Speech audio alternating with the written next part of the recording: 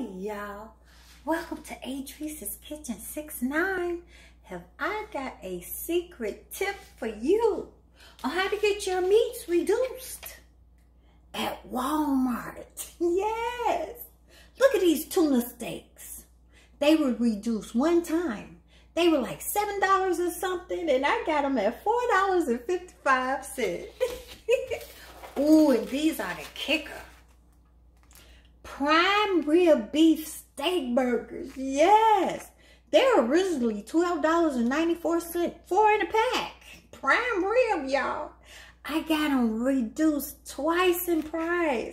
It was $7 and something. And I walked out the door with them at $5.59. Yes. You know why?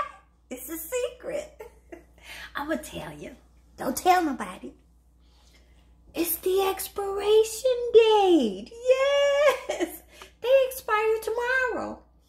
Isn't that something? So I walk around the meat market looking for meats that expire tomorrow. Then I go get that little young man with that magic wand. And he reduces the price for me. Look at that. Yes. Ooh, baby. That way I got enough extra money for me a fine bottle of wine. Cheers, right? I'm to saute these babies with a little of our Sneevy's Love Barbecue Spice.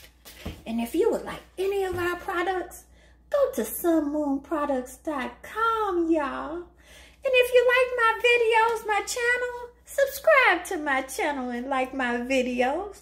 Now, that's a secret tip. Don't tell nobody. Happy shopping, y'all.